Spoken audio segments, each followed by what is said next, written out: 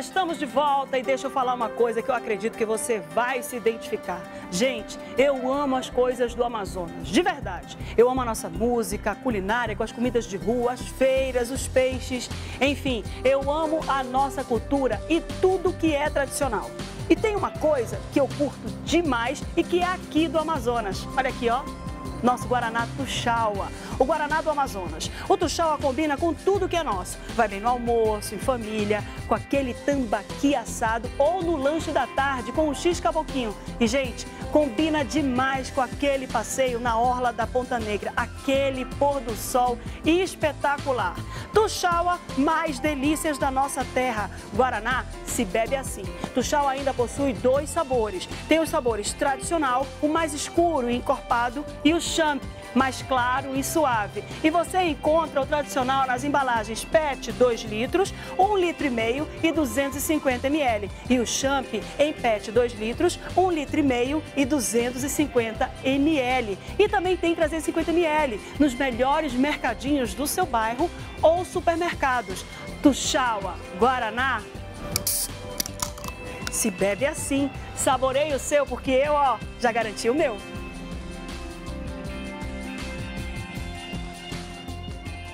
Ótimo, já pegaram meu Guaraná, já levaram. Olha, na manhã dessa sexta-feira, vamos mudar de assunto, né? São 12 horas e 13 minutos. Na manhã dessa sexta-feira, um ônibus e um carro de passeio se envolveram em um acidente no bairro Cidade de Deus. O motorista do carro ficou preso nas ferragens, mas conseguiu ser socorrido e levado ao hospital próximo ao local. Quem vai trazer os detalhes pra gente aqui na tela é o Luiz Rodrigues, lá de Tefé, o menino Teféense. Traz, Luiz, as informações. É isso mesmo, Márcia. Na manhã dessa sexta-feira, mais um acidente aconteceu na na capital amazonense, ali na Avenida Nossa Senhora da Conceição, no bairro Cidade de Deus, aonde um veículo que estava disputando racha, o motorista desse veículo estava disputando racha e estava alcoolizado, colidiu com o transporte público. Aqui ao meu lado o tenente Francisco Batista, que vai nos explicar como aconteceu toda essa situação. Bom dia, tenente. Bom dia. É, segundo informações, esse veículo vinha em alta velocidade e estava vindo em direção centro-bairro, vindo, subindo aqui a Nossa Senhora da Conceição, Cidade de Deus, um ponto de referência próximo aqui ele chega mais, subindo ele pegou a mão né, do ônibus no qual chegou a colidir, né? Segundo ainda relatos aí, o motorista do ônibus ainda tentou desviar do veículo, só que acabou colidindo. E com isso a, o motorista do Golf chegou, chegou a ser, é, ficou preso nas ferragens, né? Mas logo de imediato é, a viatura assim que chegou no local, tomou todas as providências, ligou para o SAMU, é, a perícia. Então, a vítima, segundo o relato, foi para o João Lúcio e passa bem. E no transporte público, é, tenente, alguma pessoa ficou ferida? Não, não. É, no transporte público, nenhum dos, nenhum dos passageiros, o condutor do transporte público é, ficou ferido, somente mesmo o condutor do Gol. Agora, a informação que esse motorista estaria disputando racha. É, esta avenida acontece sempre esse tipo de coisa, tenente? É, na verdade, na Senhora da Conceição, né, como você sabe, teve, recentemente teve a, a pavimentação dela aí, ficou até melhor a via de transporte, o fluxo dos veículos. Só que acontece, é, tendo em vista essa situação do racha, as pessoas querendo disputar, então acaba acontecendo realmente esses sinistros aí que acontecem na via. É, não é sempre, mas devido às imprudências dos motoristas acaba acontecendo. Agora, tenente, após a recuperação desse motorista, desse motorista que agiu aí com imprudência, é, o que acontecerá com ele? Bom, isso aí foi, foi repassado para, como eu falei, né, foi chamada a perícia.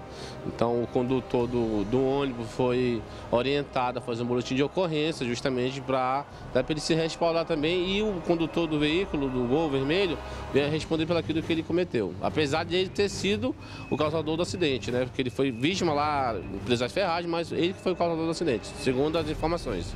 Ok, então, tenente. Então é isso, Márcia. É, a gente alerta né, a todos os motoristas que, primeiro, já dirigir alcoolizado, você já está sendo imprudente. E você utilizar as ruas também para cometer esse tipo de. para disputar racha, não é também autorizado, isso é proibido, né? E que você possa ser mais prudente, tomar cuidado. Este é o segundo acidente que aconteceu nessa manhã aqui em Manaus. Voltamos com você, Márcia. Obrigada, Luiz. Eu vou já trazer o próximo acidente, que o Luiz já me deu, inclusive, o gancho para chamar aqui o próximo acidente. Mas deixa eu dizer uma coisa. Prefeitura vai lá, asfalta a rua, deixa a rua bonitinha, impecável, acabou com enche a lata e vai cometer fazer racha vai fazer racha, é para acabar, né? Como o Luiz falou, teve um outro acidente mesmo, um acidente envolvendo dois carros populares que aconteceu na manhã, nessa manhã na Avenida Constantino Neri. Um dos motoristas ultrapassou o sinal vermelho e acabou batendo com outro carro de frente. O carro teve a frente toda destruída. Quem fez isso aqui, Ivan? O Luiz também fez. Vamos trazer aqui. Luiz, me conta a história. É isso mesmo, Márcia. Agora está tranquilo. Os agentes de trânsito ainda estão trabalhando, retirando alguma das peças do carro vermelho, que foi o carro que teve mais prejuízo aí, teve a frente totalmente destruída e aí perdeu várias peças aqui no local. A pista já foi liberada depois de os agentes colocarem ali um pouco de, de serra ali no meio da, da pista, onde teria muito óleo né? E estava espalhado de óleo. Mas a história é a seguinte, Márcia, por volta de seis e meia foi o horário que aconteceu este acidente aqui na Avenida Constantino Neri. O carro que você está vendo aí nas imagens, totalmente destruído, eh, e o dono, o dono dele utilizava o carro para trabalhar. Ele era um motorista de aplicativo, estava saindo para trabalhar, ele estava fazendo o retorno ali, ó, mostra ali, Rui. Ele estava fazendo o retorno ali o semáforo já, tinha, já estava liberado para ele, estava no sinal verde, quando o motorista do Onix, deste Onix que você está vendo nas imagens, veio em alta velocidade, não parou, o sinal estava vermelho para ele e ele não parou, veio em alta velocidade, segundo testemunhas, ele já estava há muito tempo, né, desde o início praticamente da avenida, vindo em alta velocidade. Essas pessoas pararam depois, é, próximo ao carro, e disseram a ele que não era necessário ele ter vindo daquela forma, né? Porque ele prejudicou não somente o motorista por conta do carro, mas prejudicou aí a vida profissional dele, que utilizava o carro para ganhar dinheiro e agora vai ter que ficar parado. Segundo informações também, Márcia, é, esse motorista do carro branco, do carro Onix, ele estava, poderia estar alcoolizado também, né? Uma, uma forma duas vezes imprudente né, não ter respeitado a sinalização e está dirigindo alcoolizado. Colocou em risco aí a vida de uma pessoa que estava saindo para trabalhar. O motorista até declarou, o motorista do carro vermelho declarou que nasceu de novo depois desse acidente. Agora o carro, os dois carros já foram retirados aqui do local e vão seguir aí para os procedimentos cabíveis. Voltamos com você, Márcia. Obrigada, Luiz Rodrigues. Nasceu de novo. Acabou que perdeu o carro para o trabalho, mas agradeceu a vida que tem. Isso é que é ser uma pessoa grata, uma pessoa que agradece o que acontece na vida, independente de ser coisa boa ou coisa ruim, porque isso aí foi um livramento, viu? 12 horas e 18 minutos. Deixa eu chamar aqui você que está aí do outro lado, aqui, aqui, tá ligado? Bruno Fonseca hoje cedo também saiu para poder fazer matéria, fazer reportagem e vai trazer a notícia de três cabras safados que foram presos com maconha. É, maconha. Eles foram presos na zona leste de Manaus, eles estavam com maconha do tipo skunk. Bruno, traz pra gente as informações. Olá, Márcia, é isso mesmo. Três homens foram presos na tarde de ontem no Nova Conquista, zona leste de Manaus. A polícia recebeu uma denúncia através do WhatsApp, onde informaram que um homem estaria em posse de entorpecentes e iria fazer uma entrega. Foi aí que a polícia chegou no endereço informado e avistou Nivaldo Tananta da Rocha, de 33 anos. Ele estava com um tablete de maconha do tipo skunk. Em uma breve entrevista que a polícia fez com o Nivaldo, ele informou onde teria mais droga, Márcia. Foi aí que a polícia chegou até a rua Iraque, ali no Nova Conquista, e conseguiu identificar Francisco Lomas dos Santos, de 37 anos. Ele estava em uma casa. Foi lá que a polícia conseguiu também encontrar mais um quilo de maconha do tipo skunk. O Francisco informou quem teria entregado toda essa droga. Aí também que a polícia chegou até o Silas de Souza Veloso, de 54 anos. Ao todo foram apreendidos 2 quilos de maconha do tipo skunk e os três foram para a delegacia prestar esclarecimentos e agora estão sob os cuidados da polícia. Bruno Fonseca para o agora. Obrigada, Bruno. Acho legal que eles são presos, são presos com 200 gramas, 200 gramas só de droga. Aí a polícia vai lá e fala, meu irmão, não tem só isso, que eu sei que tem mais, que eu tô vendo na tua cara que tem mais droga lá na tua casa. Já que é, bora, me leva lá. E aí quando vai lá, acha dois, três tabletes, quilos e quilos de droga. Menos droga na sociedade, menos bandidos, traficantes. Isso aqui é bom. Olha, não acaba por aí não. A polícia prendeu um homem que estava acompanhando de dois menores de idade. O homem estava com mais dois menores. Eles estavam assaltando uma lanchonete na zona leste da capital. Durante a abordagem, o trio, o trio trocou, trocou, tiro. O trio trocou tiro com a polícia. Isso aqui foi o trabalhinho que a Vanessa colocou para me sacanear aqui, hein? Colou não, hein, Vanessa? Dois deles tiveram a perna esquerda baleada. Quem traz os detalhes? O tefeense, o Luiz Rodrigues. Vai, Luiz.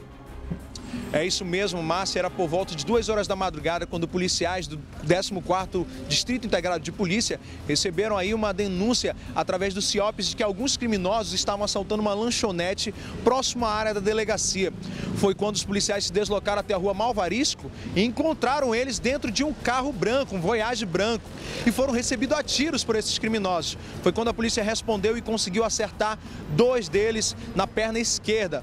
Os policiais conseguiram apreender dois menores e um outro maior. Eles foram levados até o Platão Araújo, onde receberam atendimento e apresentado até a delegacia. Eles irão agora passar pelos procedimentos cabíveis. Nós voltamos com você, Márcio procedimento cabível, porque ele já foi feito curativo lá. Botaram o band-aid e vão mandar para delega para penitenciária, porque tem que ser preso o maior. O menor de idade vai apreendido e vai responder processo referente lá ao crime que eles estavam cometendo, porque é assim que trata menor. 12 horas 23 minutos, você que tem do outro lado, eu quero te perguntar, já fez a inscrição para o Roberto Cabrini? Não fez ainda a inscrição para o Roberto Cabrini? Não acredito. Até te ensinar a fazer a inscrição hoje, eu já fiz. Já fui lá no portal, lá no nosso intempo.com.br, para você poder fazer a sua inscrição do Roberto Cabrini, que acontece no dia 30 de novembro. Então, você que tem do outro lado, fica ligado. Tem um recadinho para você, roda aí. Você que é profissional e estudante de comunicação social, participe da palestra Não Basta Ter Pauta, Tem que Ter Coragem, com o jornalista Roberto Cabrini.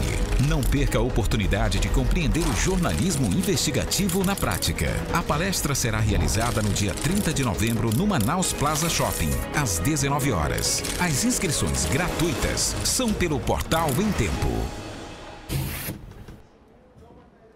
A inscrição é gratuita, mas você precisa confirmar sua inscrição com 2 quilos de alimentos não perecíveis. Nada de levar sal para lá.